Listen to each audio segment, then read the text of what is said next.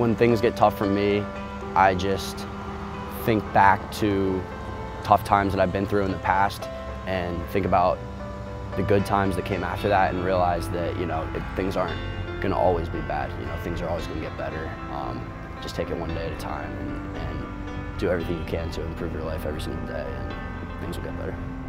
Don't worry, things are going to get better even when things seem rough. You know, you've always overcome adversity in your life. You always, you're always going to overcome adversity in your life, so just take it one day at a time, do everything you can every day to make your life better. Thanks guys, bye.